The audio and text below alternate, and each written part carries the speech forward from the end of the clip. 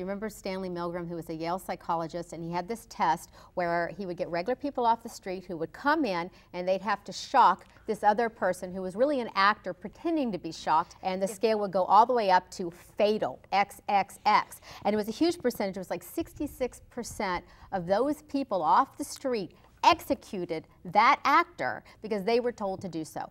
Are they sociopaths or psychopaths or people think that everybody's either left or right and, and that's it and those are the only two viewpoints that really matter. I like him, but yeah. I'm saying that I think that he could not win. I don't believe that middle America is going to vote for this guy because I think See, he has been de defined. Voters came out there, they voted and they wanted right. their voice heard. The term bipartisan is so offensive. You hear it all the time when you listen to television, bipartisan. Well, I like the term nonpartisan because I'm not bipartisan. I'm not interested in either party. I, I consider myself an independent. And Rick Morris actually last night, and I actually do like to follow because I do think he has great insights. No, I, I agree with that. He, he said that it doesn't matter that you don't need to be a manager, you don't need to be a governor, you don't need to be a, a, business leader in order to be a good president. He said you need to be a good speaker, right. which of course Obama is quite good at that. In city of LA, we have Special Order 40. I don't know if you know yeah. much about that, but we're a sanctuary city, and there are 25 cities in this country that are. Recently, we had a situation where a an illegal gang member killed uh, a young black kid who was very. Those are the people that work in. Um, in slaughterhouses don't speak English, which also is a hazard because you've got some people that speak one language and other people that speak another, you can't even communicate properly to be safe. And you also obviously don't have union representation. That's yeah. One is you obviously monitor your accounts, like what Ralph is saying. You know, make sure you're always kind of on top of your bank accounts and your credit card yeah. accounts. Um, also, there's something called shoulder surfing when you're like looking at your computer or even at an ATM where people try to look over your shoulder and get information that way. So you have mm. to be careful. Um, Louisiana, for example, has a law that if you rape a child under 12, then you get the death penalty. penalty. Also because of the court system, and I think it's whether you have a good attorney that's representing well, you. and if you're that? poor, you're not going to get a good not, There's not equal. And there's a book that recently came out called Love and Sex with Robots by David Levy, and he says that by the year 2050 that we will be dating robots, marrying robots, and they will be just like real people. And they will be breaking our hearts. the people that run the website got the information from the police station. So they got rosters of all the different names. And then you come on and you can tell about your experience with a particular police officer. The members of the public can ask questions. And there was a report called The Structural Imbalance of Talk Radio that came out, um, I don't know, maybe six months ago or a year ago. And um, I think it's a highly biased report. But they said that 91% of talk radio is conservative and only 9% is progressive. They get this pressure, and if they don't you know, comply with this pressure and be tough on crime, they don't get reelected. What country? Well, actually, the country that has the smallest number of people in prison is called San Marino. It's the Republic of San Marino, which is next to Italy. no. And how many people are in that in prison? Jail? Yeah. Um, I'm going to guess it, one. That's right.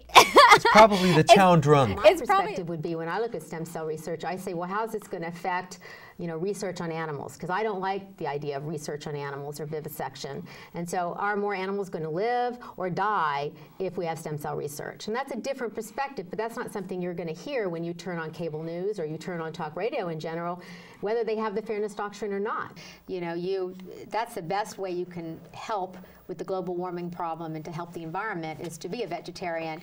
And so if you drive a Hummer and you're a vegetarian, you're actually doing a lot more for the world than if you eat meat and you drive the most energy efficient vehicle on, on the earth. Um, right. Situation, uh, bees declining and something called colony collapse disorder. Something like 60 to 70 percent of the bees they say are now you know dying in the you know or have died in just in the United States alone, and it's um, hurting you know various crops. And Einstein says that once the bees are dead, then humans will die within four years and they're not really sure what's causing this. They animals in the shelters in California. It costs taxpayers $250 million, and it can cost 200 bucks to take an animal into the shelter to house, feed, and then eventually kill that animal. So it's really important that people not only get their animals fixed, which they now have to do by law, but that when they adopt, they go to a shelter or a nonprofit and get the animal that way and don't go to breeders or pet shops. What if Two- you want- two cats and if you let them have babies and they ha- their babies have babies you end up during that cat's lifetime with 25,000 animals that are born during that lifetime I know. They're running around my house. yeah you got you got to get them trapped and across this country. 41 million people are affected by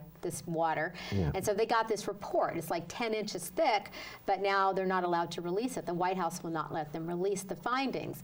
And apparently, various municipalities do water tests and find this kind of thing, but they normally don't even release it to the public. Say that a quarter of the people have um, changed away from their childhood religion. And if you add the Protestant denominations, then you come up with 44% of the people. Apparently, they found out that men get depressed when they go to religious services. Not all men, but a large number of men.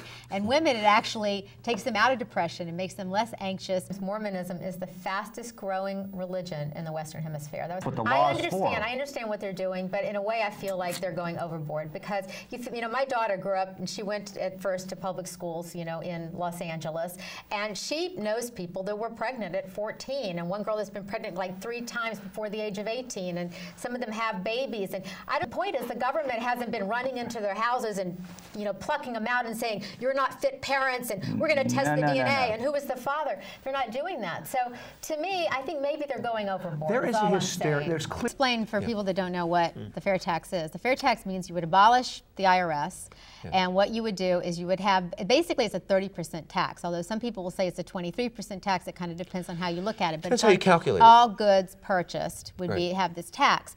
But however, but I No, remember don't. this is really stupid. But I remember when they said don't drink and drive, and that came out.